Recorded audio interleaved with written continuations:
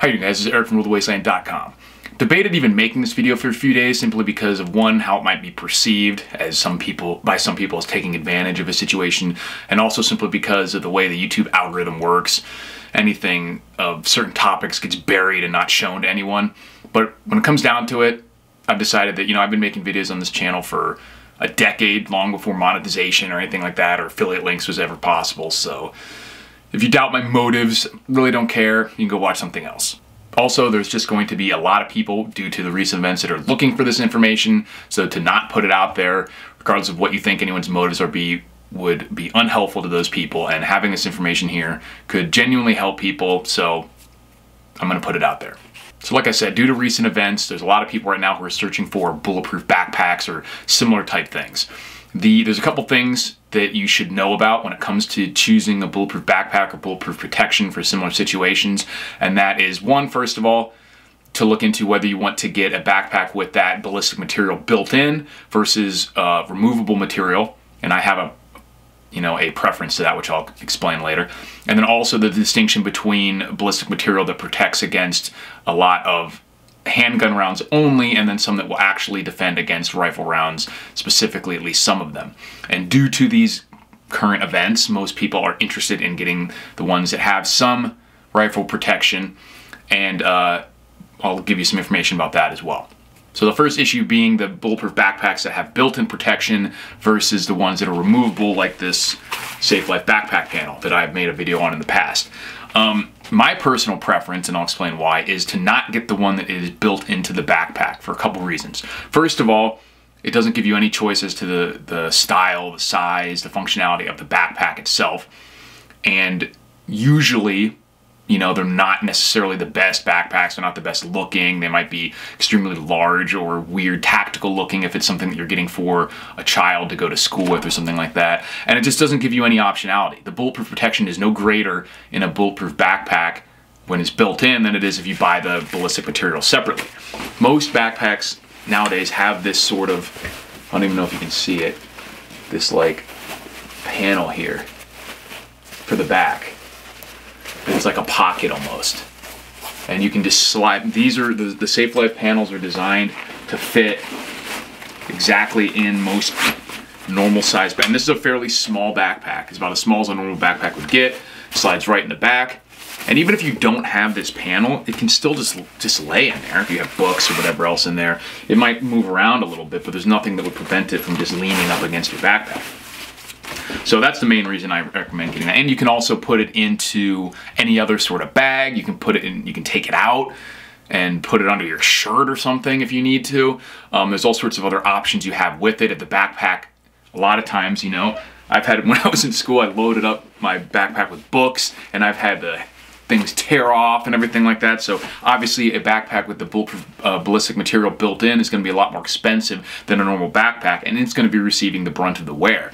So when you have the panel just in your backpack, it's not getting any stress on it other than just the normal age and everything. But the backpack itself is always going to be the one that gets worn down. The actual straps, the zippers. So I mean, if you buy a bulletproof backpack and the zipper goes out, then you have to buy a whole new backpack or get some sort of weird repair. And I just don't think that most of the companies that make these bulletproof backpacks put a lot of effort into specifically making the backpack itself that extraordinary.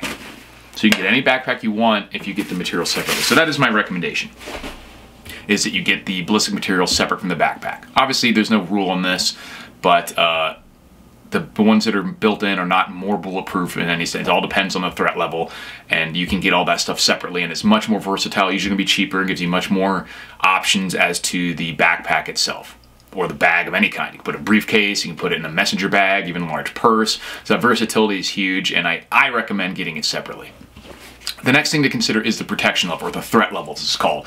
If you're not familiar with bulletproof or, or bulletproof um, materials, the A, if it has like 2A, 3A, that's pistol protection. And if it's just a number, 3 or 4, then that includes rifle protection. So this flexible panel is uh, the Safe Life Defense backpack panel, which I've made a video on before. I'll, if I can find it, I'll put the link in the description. But uh, this is 3A plus And their plus is pretty much specific to Safelife because it includes stab protection up to 36 joules of force, which most soft armor is not specifically rated against stabs. And then it also stops the FN57 and the Liberty Civil Defense 9mm, which are technically pistol rounds, but they're extremely high velocity and can defeat a lot of normal 3A armor. So that 3A plus, it's indiscernibly thicker and heavier, you can't even tell, but it has that extra threat protection. But all the 3A from Safelife has slash uh, strike, taser protection, and stops all common handgun rounds up to 44 mag and even 12 gauge slugs, which I've done in the video before. It's pretty cool. And that's extremely lightweight, extremely flexible. This thing will slide in any bag and it'll be indiscernible to most people wearing it, even picking it up if they didn't know it's in there. The only downside of this, and related to the incidents that have happened, is that people want rifle protection and this does not stop rifle protection. The soft armor does not stop rifle protection from Safe Life or anyone else and um, that's something that is can be a common threat these days is the 223 or the 556 round or maybe even 762 so if you want rifle protection you're going to have to not only pay a little more but you're going to have to go with something that's significantly heavier and significantly uh, less flexible usually. So normal most normal rifle protection is always hard armor. In this case it's a ceramic plate from Safe Life. This is actually level 4 when used in conjunction with the uh, soft armor panel. So this will actually stop 30-06 steel core multiple strikes. It weighs about six pounds, so still not that bad. You know, it's like having three quarters of a gallon of water in there. So definitely noticeable, definitely not flexible, but still sized very easily to slide into your backpack. I put this one in my backpack a lot of times when I go to play poker. Just slide it right in that pocket and that way it's still easy, super easy to carry. In the event of a any incident in public, I can just throw it on this way for the front.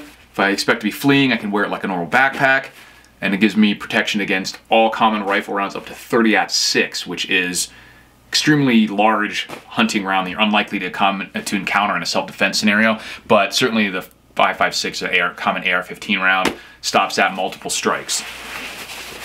Now, when it comes to rifle protection plates, whether that be three or four, you're almost always going to have to deal with some kind of hard armor, whether that's the ceramic, polymer, or steel. Steel I certainly don't recommend for like the backpack scenario because it's very, very heavy. It is the cheapest and it's good with multiple strikes, but it's extremely heavy to the point it doesn't make any sense to have it in a backpack or work bag or certainly a kid's backpack or anything like that.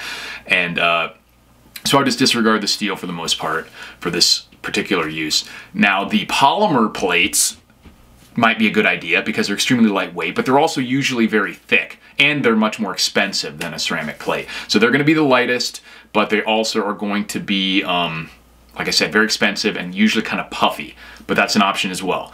Um, the other option, which I think Safelife is the only one that has it that I know of, is the only real flexible soft armor that stops rifle rounds, and that's their FRAS plate, which is flexible rifle armor system. Technically, it still uses ceramics, but they're they're like a small ceramic tile, so the plate itself can still flex and move a little better, and it's lighter than like a, a full ceramic plate, so it's a good in between. Also, again, they're not cheap. I'll put the link in the description, but it is one of the lighter rifle protection rounds sorry, rifle protection uh, panels or plates. Still, it's about the you know same size as these, so it'll fit in all your normal backpacks and everything, and it does stop the 5.56 round.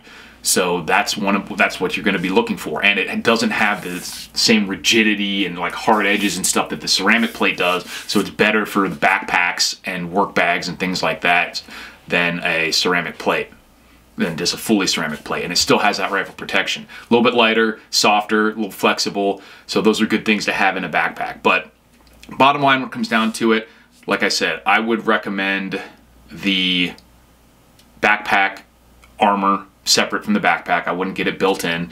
Obviously you can if you think that there's a good reason for that, but I think it gives you a lot more flexibility as to what armor you're purchasing and what backpack you're purchasing and they're usually all sized so that it's going to work together.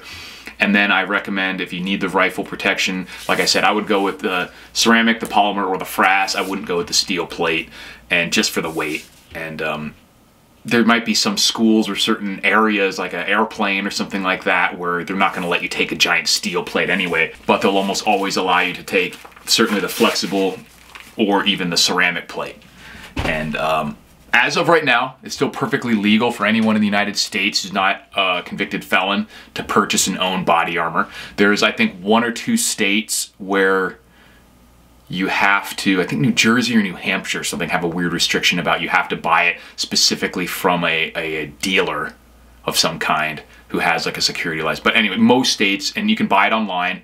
Like I said, I'll put the link down there, but look around, find what, what the best deal is. You don't have to use my link. I'm just putting this out there for informational purposes. But uh, for the most part, anywhere in the US, you're good to go. You can travel with it, you can own it. It's not very restricted at all right now, but I would definitely get it because who knows what crazy restrictions they're going to come up with. But let me know if you guys have any questions.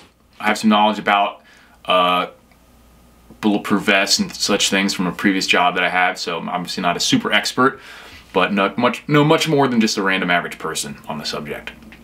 So let me know if that helped you guys. Hopefully it helps some, at least one person out there who's looking for this information.